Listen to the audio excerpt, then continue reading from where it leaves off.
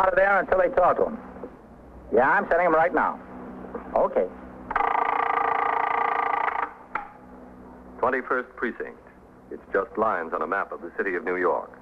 Most of the 173,000 people wedged into the nine tenths of a square mile between Fifth Avenue and the East River wouldn't know if you asked them that they lived or worked in the 21st. Whether they know it or not, the security of their homes, their persons, and their property is the job of the men of the 21st Precinct. The 21st. 160 patrolmen, 11 sergeants, and four lieutenants, of whom I'm the boss. My name is Cronin, Vincent P. Cronin. I'm captain in command of the 21st Precinct. I've been doing day duty, and at 6 p.m., I signed the blotter to go off the job, not scheduled to return until 4 p.m. the following day. The desk officer, Lieutenant Harry Snyder, was in charge of the patrol force of the precinct. As opposed to the patrol force, whose essential duty is the prevention of crime, detectives are responsible for the investigation of crime. In the 21st, 18 detectives work out of the squad room on the second floor under the command of Lieutenant Matt King. At 11:30, while Detective Dan Goldman sat at his desk talking to one complainant, two others in different cases waited their turn on the bench. All the other detectives on duty were out on patrol or investigations, and Lieutenant King was busy in his room with paperwork that always plagues a superior officer of the department. You spell that E-L or L-E? Ellie. Now, exactly where was the uh, suitcase when you last saw it? Well, I sat down in the restaurant, you know, in one of those booths, and I put it right alongside of me, and I thought it would be perfectly all right there. And then when I got up, it was gone, and I didn't see anybody take it, and nobody else saw anybody, not the cashier or anybody. all right, miss. Okay, we, we'll try to get it back for you. What'd the uh, suitcase look like? Hey, listen, how long are we going to have to wait? I'll get to you two in a minute. Just sit there. Well, it, it was brown imitation leather, and it was about this big with a lighter color brown strip of leather running all around it. About how big? Uh, well, it was about this long, you know, about this wide, and it, it had genuine gold silk snaps with little brass corners Would all you in a brown excuse me leather. for just a second? Yes, sure. 21st Squad, Detective Goldman. Sergeant Waters on TS, Danny. Yeah, Sergeant. Got a fellow over the emergency admitting room at St. David. He says he was hit on the head and robbed. We got a name on him, Sergeant. What's the name? Just a second. Listen, you fellas are going to have to keep quiet on that bench. I can't hear a word on this phone. All right, all right. Okay, that's better. We got a name, Sergeant? They just called in from the hospital that the man came in. I sent a car over there to take a look. Okay. Yeah. But I really don't care about the suitcase. It's, it's what's in it that's important. Yeah, we'll uh, get to that in a minute. I got to talk to the lieutenant a second. You just sit right here. All right, but I'm really very upset about all this. We'll see what we can do. All right. Oh, all right. Okay. Okay. Now, he's not going to threaten you again with a knife while you're sitting in the police station. Uh, we'll take care of it all. Just sit down. Oh, he's on. We'll get trouble. He didn't want to come over here anyway. Yes, come in. Yeah, Danny. I rang up from uh, downstairs, Luke. They've got a robbery victim over in the Beth David admitting office. What have you got outside? I got the lady with the suitcase, a fellow and his brother that claim somebody's after them with a knife, and there's that Wilson fellow. Yeah. Where are DeLuca and Scanlon? Well, they were going over on Second Avenue to see if they could grab that bum they're looking for in one of the joints around there. All right, put out a call for them. If they catch it, have them come in. Let Scanlon catch, and you and Lud take a ride over there to the hospital. If they don't, I'll take a ride over there myself as soon as Vitale gets back here. Okay? Let me know if they haven't rung in in five minutes. Okay, Luke. Bert, I can tell you right now, if you think we can go back there... Look, can't, can't you two just sit there? Oh, and I forgot to mention. Yeah? It has my initials on it, DRK. What? The suitcase. It, Oh. it has. Oh, yeah, yeah. I'll, I'll, I'll just be one second more. Well, all right. But really, uh, We'll see what we can do to find him. 21st Precinct, Sergeant Waters. Danny Goldman, Sergeant. Would you ring down to CB and put out a call to have 192 call the 21st Squad? Okay, Danny. All right, now. It was a brown imitation leather suitcase with a light brown strip going all around. Gold filled snaps and the initials DK. DRK. DRK. About uh, this long, about this wide? Yes. And inside, I had my navy silk shantung dress and a pair of shoes to match with all of my All right, well, let, let me I get down had- about the I- suitcase before you tell me what we're doing, huh? All right. The radio call for the cruising detectives was put out. They received it and pulled up to the nearest call box and rang in. Pursuant to Lieutenant King's instructions, the squad car came by the house. Detective Scanlon came upstairs, and Detective Goldman joined Detective Louis DeLuca in the car. They drove to Beth David Hospital, 161 East 90th Street, and parked near the emergency admitting office. As they came through the double doors, they saw a young resident surgeon leaning against the counter talking on the telephone. Let's see if he knows. Yeah. Well, honey, look, they're the only aunt and uncle I've got. I, I know, but look, honey, Norma, honey. Oh, hi. What do you say, Doc? Honey, will you listen to me? I'll be with you in a second. Okay. Look, sweetie, we'll get it worked out. Yeah, I'll see you tomorrow. Yeah, now don't worry. All right, goodbye, honey. Doc, we're detectives. You got a man here, victim of a robbery? Oh, yeah, he's got a nasty laceration across the base of the skull. It'll take six or seven stitches. Were there any uniformed men around here? Yes, there were. My name's Goldman, Doctor. This is Detective DeLuca. Hi. Oh, how are you? I'm Dr. Famoy, Where is he, Doc? in the treatment room back there. This fellow's all right to talk to, isn't he? Oh, yeah, sure. Good. There doesn't seem to be a concussion. Yeah, I'm here. Go ahead. Yeah.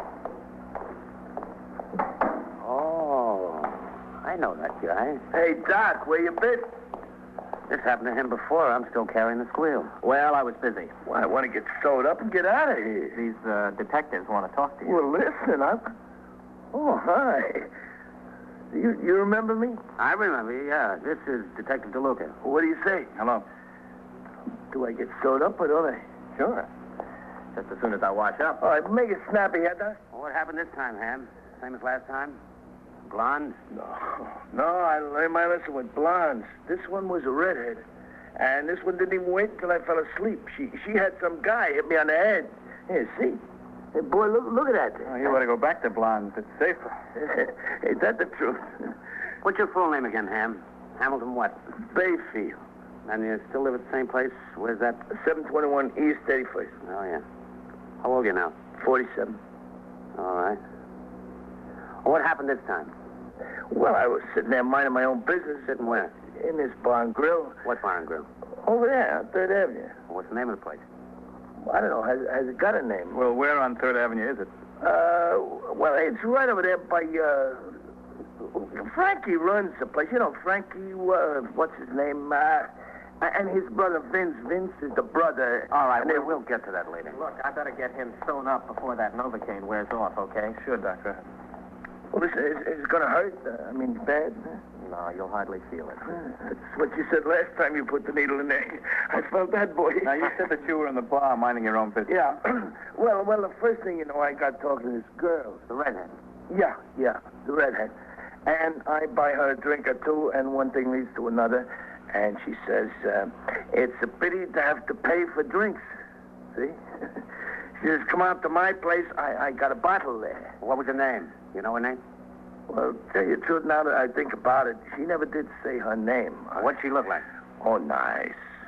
she was nice looking at her. All right, now hold still. Yeah, you go right ahead, Doc. Anytime you want. well, Here's one. how many you got to take? Not many. Well, what did she look like besides being redheaded? The girl? Yeah. Well, she was nice looking. Well, you told us that. Uh, how tall was she?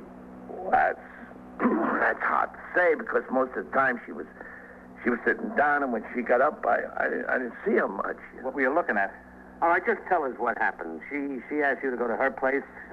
You go out of the bar with her? Yeah, sure. We went out. We walked down Third Avenue. We turned into one of the streets. hey, I thought you said they wouldn't hurt. Oh, come on now. They're not so bad. no, Which street? I don't know which one of them. Well, well, she said this way, and suddenly we passed one of them lots where they tore down a building, and, and something grabs me. And it's a guy, and he shoves me into the lot, and the first thing you know, he hits me on the head with something, and poof, I'm out like a light. Wake up, the money is gone out of my pockets. Here I am. eh, Poof. Huh? Yeah, poof, like a light. What happened to the redhead? Oh, she helped him. Didn't I tell you? Well, how do you know she helped him if you were, uh, uh, poof, out like a light? All right, all right. Hold still. Well, you how? Easy, Doc. Head ain't made of iron, you know. It's a matter of conjecture. What is that? Was that a cracked? How do you know she uh, helped him? Because before he hit me, she pushed me. Oh, listen. Listen, he called her by her name. Now, would that help you find her, do you think? What was the name he called her? Uh, see now, Red. Red. Yeah, Maybe that was because she had uh, red hair? maybe. What was missing from your pockets? How much money? A lot, a lot. It was $33.48. There was uh, two tens, two fives, three ones, a quarter, two dimes, and three pennies. Mm-hmm. Who'd you have along with you? Your accountant? Hey, ho, hey, no, stop twisting your head. Hold Ah, still. take it easy, Now, look, what do you do for a living, Hammer? Uh, me? Yeah, yeah. Well, I'm a freelance floor waxer. What's that? Well, you know, when stores got these tile floors on the floor, well, somebody's got to take care of them, so mm-hmm. I got my customers, and I go into the store at night after they close to wax the floors. It'll be nice and nice in the morning. You see? Yeah, yeah. Doc, take it easy. Won't be long Now, now. what are you doing back there? You you could have sold me a new pair of pants by now. Well, a new head takes longer. Did you ever see this redhead before tonight? No, sir, never. The doc. All right, all right. That was the last one. How many stitches I got? Six. Six? Oh, hey, boy. Six. Hey, listen. Is there any chance of you finding the redhead and getting back my $33.48? Yeah, there's a chance of us finding her. But you can kiss that 3348 goodbye, Ham. She and her boyfriend have probably spent that already. Uh, no, what's use finding in it? Well, we just want to tell her that uh, next time she sees you, to look at your stitches. Detectives Goldman and DeLuca waited at the hospital until the resident had completed dressing the robbery victim's wound. Then they drove through Third Avenue, and the victim pointed out the bar and grill where he'd met the red-headed woman, and on to the station house. On instructions from Lieutenant King, they left the robbery victim seated on a bench in the squad room and went back to Third Avenue to the bar, a small, narrow store. It was 1.10 a.m. Business was bad. One patron sat silently at the far end of the bar, sipping a glass of beer. The bartender looked up from his tabloid newspaper as the detectives walked through the door. Iron. What do you say? Uh, we're detectives. We uh, want to talk to you. Yeah? Oh, what's your name? Anning. Frank Anning. Own this place, Frank? Yeah, me and my brother, Vince. What's the trouble? Oh, there's no trouble. I'm Detective Goldman. This is Detective DeLuca. We're looking for a little information. Well, if I got it, I'll tell you. You know a fellow named Hamilton Bayfield? Who? Hamilton Bayfield. Little short, fat fellow, about 47, 48. He's around the neighborhood a lot. They, uh, they call him Ham. Oh, yeah, yeah, sure. I know him. Yeah, he polishes floors at night. You know. Yeah, that's that's the man. What happened to him? See him around tonight? Well, I was uh, pretty busy in here before, you know. Well, did you see him or didn't you? like I said, it was busy, you know. He told us he was in here for almost two hours, sitting right here at the bar. You served him. Well, then I guess he was in, huh? You guess he was, or uh, he was? He was in. Why didn't you say so in the first place? How long was he here? Uh, about about, uh, two hours. Like you said. That's what Ham said. I'm asking you about how long he was in here. Look, Mac, I, I don't have the people punch a time clock about two hours, you know? What time was he left?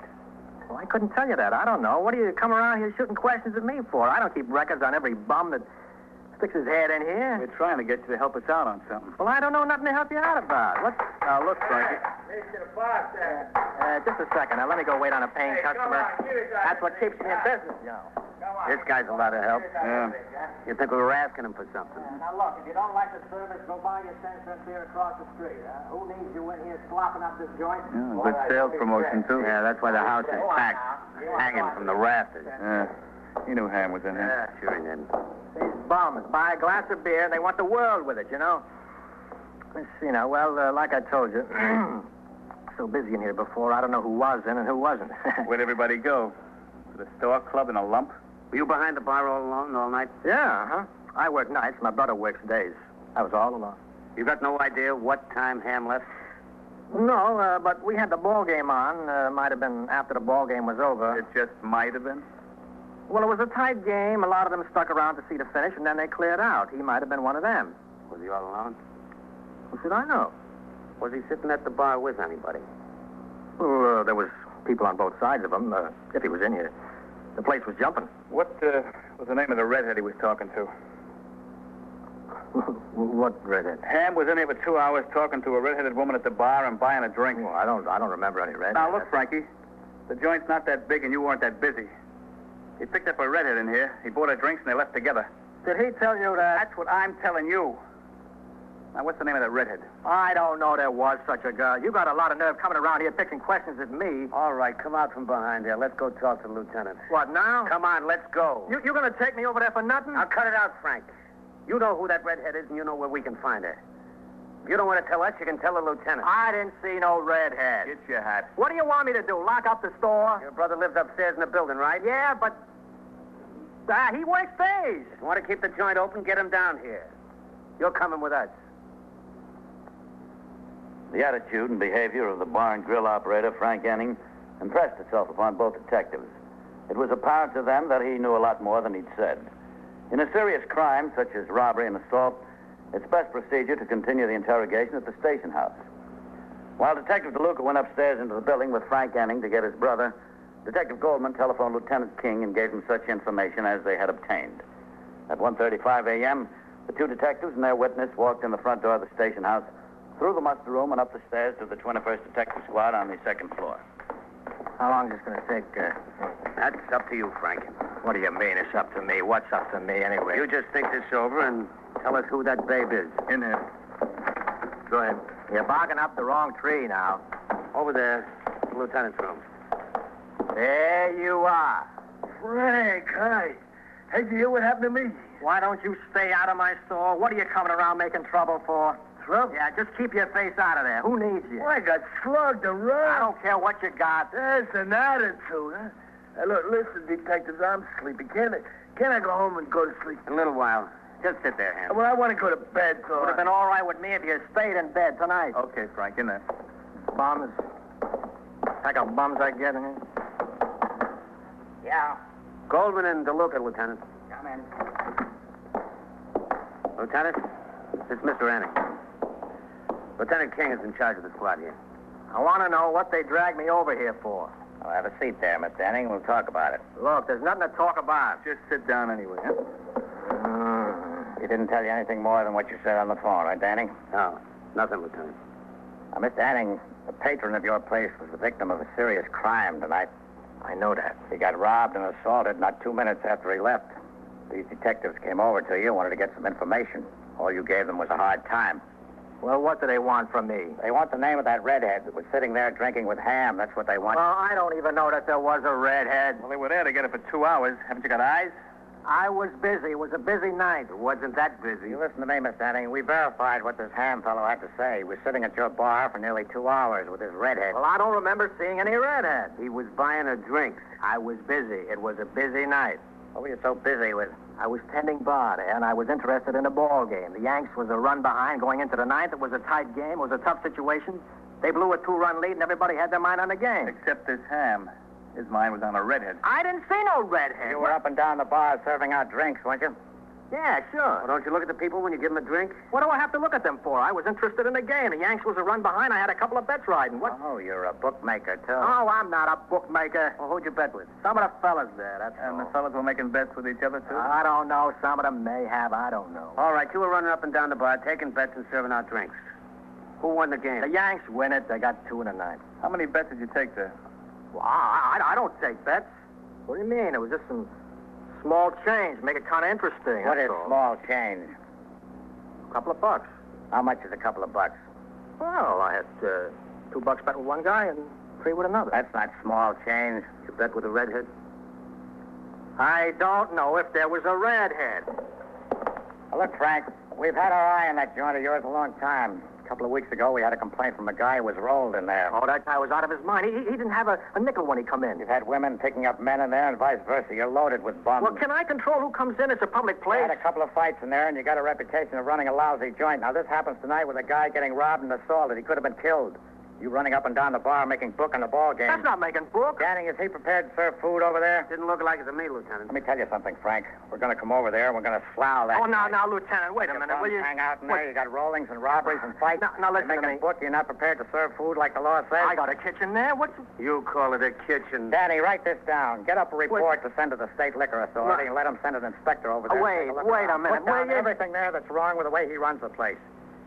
Frank, right now, I wouldn't give you two cents for your license. Oh, listen, I do my best. I, I don't want that element, but they come in. I can't lock the doors. And can I? Put down there that this is a pretty troublesome spot in the precinct. The owner has refused to give the police cooperation in connection with a crime. I didn't refuse nothing. Frank, why don't you get some sense? Why don't you tell the lieutenant exactly what you know about this? Yeah, you better do that. I'm telling you, I run a clean place. I try to keep that element out of there, but what am I going to do? Who was the redhead that Ham picked up? You know her, don't you?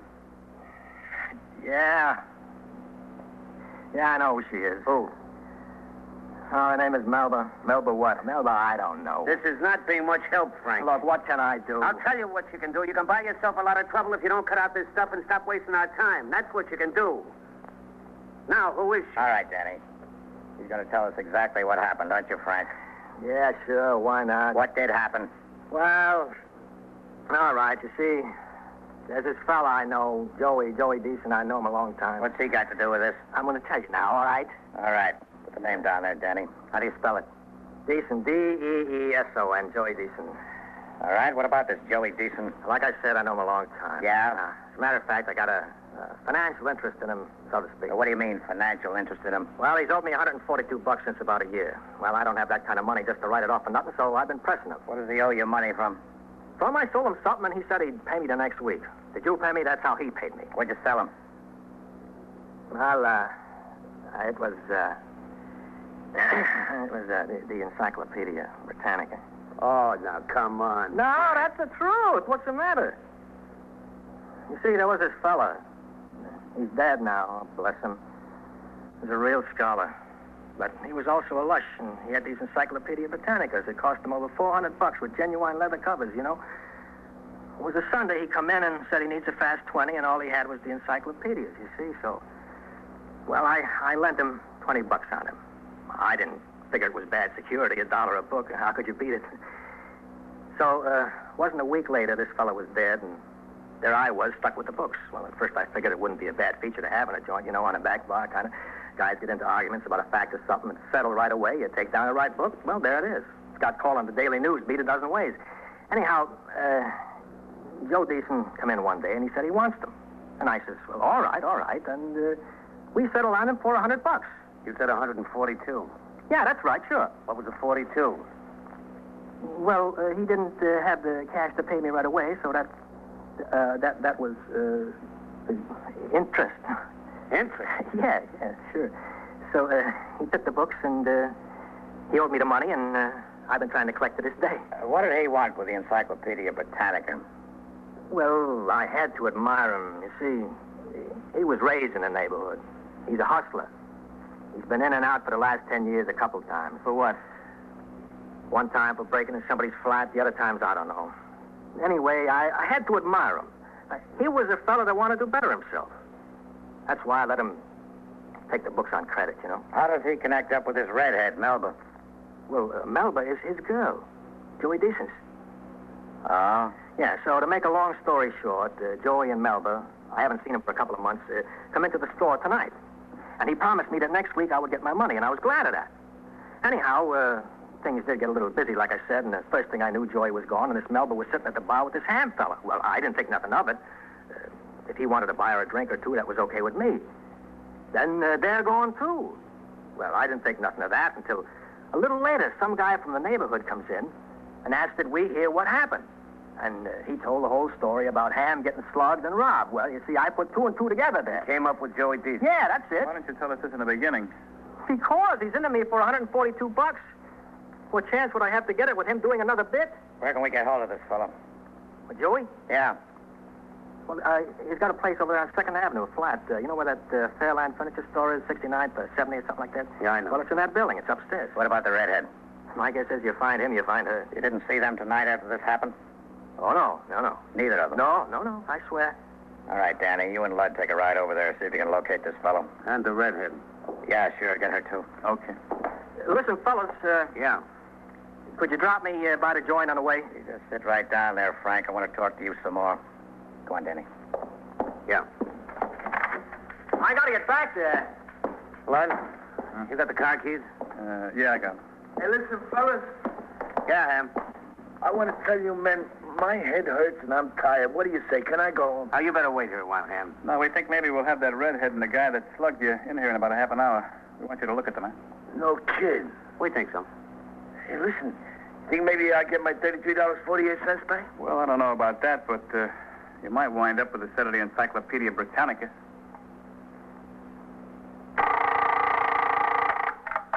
Twenty-first precinct, Sergeant Waters. Who shot? Who? 21st Precinct. Well, where? A factual account of the way the police work in the world's largest city is presented with the official cooperation of the Patrolmen's Benevolent Association, an organization of more than 20,000 members of the Police Department, City of New York. James Gregory, soon to be seen in the Columbia picture Nightfall, was in the role of Captain Cronin. Ken Lynch as Lieutenant King, Harold Stone as Sergeant Waters.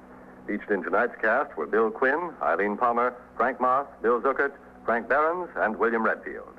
21st Precinct is written, produced, and directed by Stanley Niss. Art Hanna speaking.